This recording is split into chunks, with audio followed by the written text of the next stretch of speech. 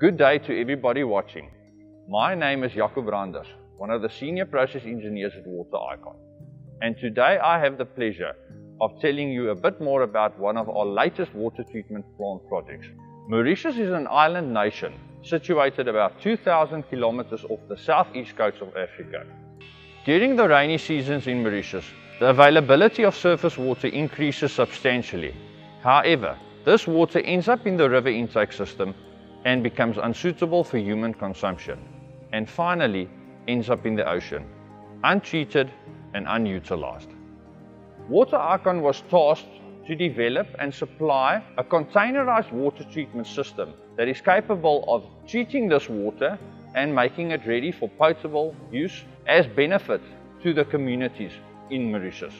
To make the water fit for human consumption, Watericon was able to provide a mobile containerized water treatment plant solution.